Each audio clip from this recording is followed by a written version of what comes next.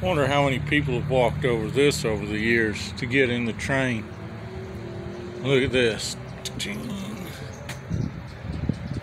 Another World War II piece of info right here in Carbondale. We're fixing to hop on these bad boys. Get us some photos.